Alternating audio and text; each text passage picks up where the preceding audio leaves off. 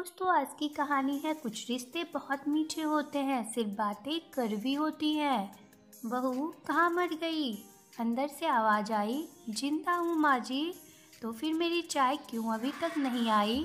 कब से पूजा करके बैठी हूँ, ला रही हूँ माँ जी। बहू चाय के साथ भजिया भी ले आई। सास ने कहा, तेल का खिलाकर मारोगी क्या? बहू ने कहा, ठीक है माँ जी, ले जाती हूँ। सास ने कहा, रहने दे अब, बना दिया है तो खा लेती हूँ। सास ने भजिया उठाई और कहा, कितनी गंदी भजिया बनाई है तुमने।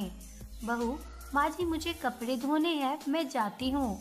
बहू दरवाजे के पास चिपकर खड़ी हो जाती है। सास भजिया पर टूट पड़ी और पूरी भजिया खत्म कर दी। बहू मुस्कुराई और काम पर लग गई। दोपहर के खाने का वक्त हुआ। सास ने फिर आवाज़ लगाई कुछ खाने को मिलेगा। बहू ने आवाज़ नहीं दी। सास फिर चिल्लाई। भूखे मारोगी क्या? बहू आई, सामने खिचड़ी रख दी। सास गुस्से से, ये क्या है? मुझे इसे नहीं खाना। इसे ले जाओ। बहू ने कहा, आपको डॉक्टर ने दिन में खिचड़ी खाने को कहा है। खाना तो पड़ेगा ही। सास मुँह बनाते हुए हाँ तू मेरी माँ बन जा। बहू फिर मुस्कुराई और चली गई। आज इनके घर पूजा थी। बहू सुबह चार बजे उठ गई। पहले स्नान किया, फिर फूल लाई, माला बनाई, रसोई साफ़ की, पकवान और भोग बनाया। सुबह के दस बज गए, अब सास भी उठ चुकी थी। बहू अब पंडित जी के साथ भगवान के वस्त्र तैयार कर रही थी। आज ऑफ़िस की छुट्टी भी थी। उनके पति भी घर पर थे। पूजा शुरू हुई, सास चिल्लाती, बहू, ये नहीं है, वो नहीं है। बहू दौड़ी दौड़ी आती और सब करती। अब दोपहर के तीन बज गए थे, आरती की तैयारी चल रही थी। पंडित जी ने सबको आरती के लिए बुलाया और सबके हाथों में थाली दी। जैसे ही बहू ने थाली पकड़ी, थाली हाथों से गिर पड़ी। शायद भोग बनाते हुए बहू के हाथों में तेल लगा था, जिसे वो पूछना भूल गई थी। सारे लोग तरह तरह की बातें करने लगे। कैसी बहू है? कुछ नहीं आता। एक काम भी ठीक से नहीं कर सकती। ना जाने कैसी बहू उठा लाए।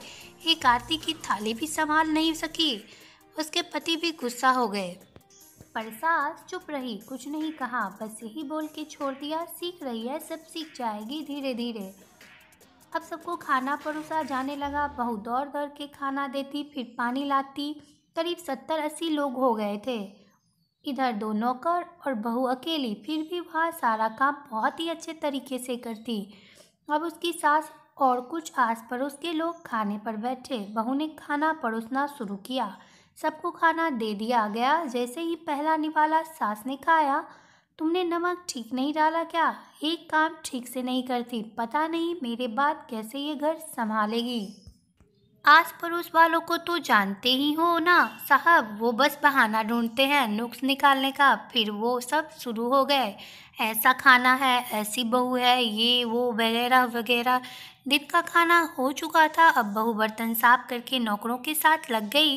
रात में जागरण का कार्यक्रम रखा गया था। बहू ने भी एक दो गीत गाने के लिए स्टेज पर चढ़ी। सास ज़ोर से चिल्लाई, मेरी नाक मत कटवा देना, गाना नहीं आता तो मत गा, वापस आ जा।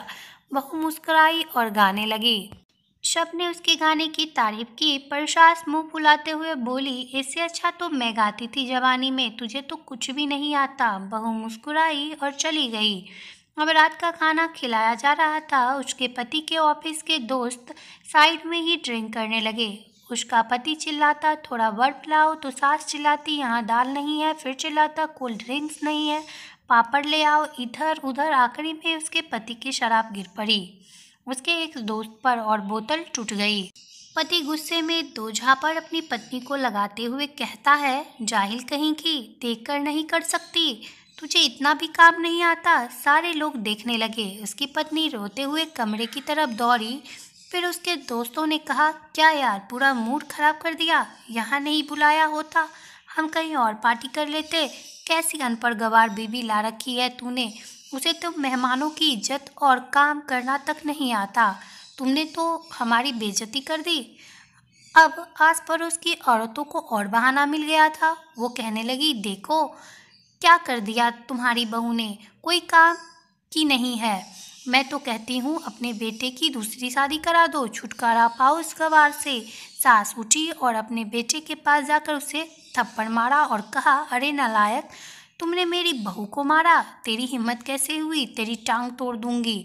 उसके बेटे के दोस्त कुछ कहने ही वाले थे कि उसकी माँ ने घुटते हुए कहा, चुप, बिल्कुल चुप। यहाँ दारू पीने आए हो, जबकि पता है आज पूजा है और तुम्हें पार्टी करनी है। कैसे संस्कार दिया है तुम्हारे माता पिता ने और किसने मेरी बहू को जाहिल बोला? जरा इधर आओ। चप्पल से मारूँगी, अगर मेरी बहू को किसी ने शब्द भी कहा तो। अरे पापी, तूने उस लड़की को बस इसलिए मारा कि तेरी शराब की बोतल टूट गई। पापी, वो बच्ची सुबह चार बजे से उठी है, घर का सारा काम कर रही है, ना सुबह से नाश्ता किया, ना दिन का खाना खाया। फिर भी हँसते हुए सबकी बातें सुनते हुए, ताना सुनते हुए घर के काम में लगी रही। ऐसे यार दोस्तों को वो अच्छी नहीं लगी। जूते से मारूँगी तेरे दोस्तों को, जो कभी उन्होंने ऐसा कहा। उसके यार दोस्त चुपके से खिसक लिए। अब सास बहू के कमरे में गई और बहू का हाथ पकड़कर बाहर लाई। सबके सामने कहने लगी, किसने कहा था अपनी बहू को घर से निकाल के दूसरी बहू ले आना? जरा सामने आओ। कोई सामने नहीं आया। फिर सास ने कहा, तुम जानते भी क्या हो? इस लड़की के बारे में ये मेरी माँ भी है, बेटी भी है। माँ इसलिए मुझे गलत करने पर डांटती है और बेटी इसलिए कभी कभी मेरे दिल की भावनाएँ समझ आती है। मेरी दिन रात सेवा करती है, मेरे हज़ार ताने सुनती है, पर एक शब्द भी गलत नहीं कहती, ना सामने, ना पीठ पीछे। और तुम कहते हो, दूसरी बहू ले आऊँ? याद है ना चुटकी की दादी? अपनी बहू की करतूत।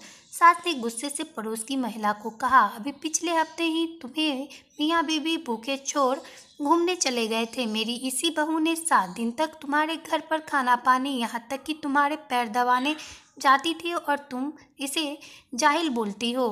जाहिल तो तुम सब हो जो कोयले और हीरे में फ़र्क नहीं जानते। अगर आइंदा मेरी बहू के बारे में किसी ने एक लफ्ज़ भी बोला तो मुझसे बुरा कोई नहीं होगा। क्योंकि ये मेरी बहू नहीं, मेरी बेटी है। बहू सिस्कियाँ लेते हुए फिर कमरे में चली गई। सास ने एक प्लेट उठाई और भोजन परोसा और बहू के कमरे में खुद ले गई। सास को भोजन लाते देखा तो बहू ने कहा, अरे माँ जी, आप क्या कर रही हो? मैं खुद ले लेती। सास ने प्यार से ताना मारते हुए कहा, डर मत, इसमें जहर नहीं है। मार नहीं डालूँगी तुझे। तुझे नई सास चाहिए होगी, पर मुझे अभी भी तू ही मेरे घर की बहू चाहिए। बहू ने अपनी सास को रोते हुए गले से लगा लिया। सास भी रो दी पहली बार और कहा, चल खाना खा ले। फिर उसके आँसू पोसते हुए बोली, अरे, तू मेरी बहू नहीं, मेरी बेटी है। कुछ रिश्ते बहुत मीठे होते हैं, बस बातें करवी होती है। बहू को प्यार देखकर, देखो, वो तुम्हारे परिवार के लिए अपने घर का आँगन छोड़कर आती है।